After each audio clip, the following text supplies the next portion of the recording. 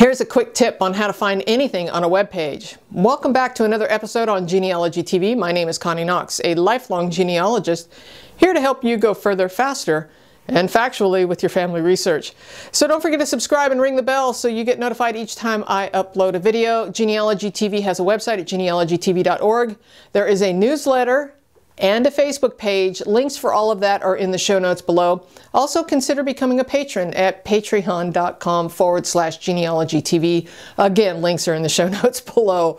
All right, now this past week there was a live show where I talk about how to plan for your genealogical road trip. And in that video, um, I gave a tip on how to find anything on a web page. So I pulled that clip out, just that one section of the live show, and I'm sharing it with you now as a Tiny Tip Tuesday. So here it is.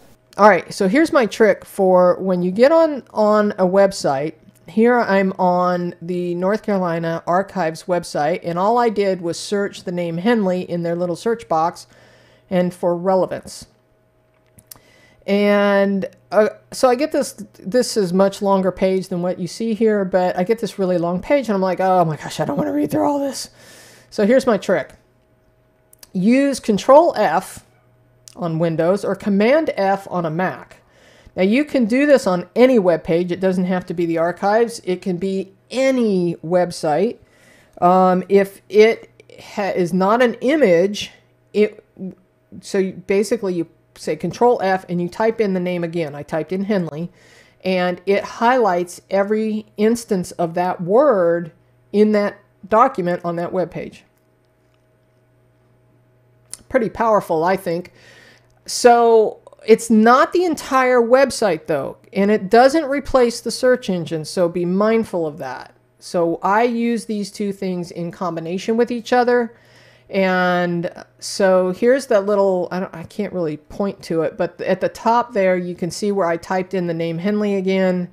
And the gold colored one that says Henley is the second instance of 21. So you can hit the little down arrow there and it'll pop you through every one of those instances of the word Henley on that page. And so um, I use this trick a lot. If you've never used it before, I hope you will. I think you'll find it wildly beneficial.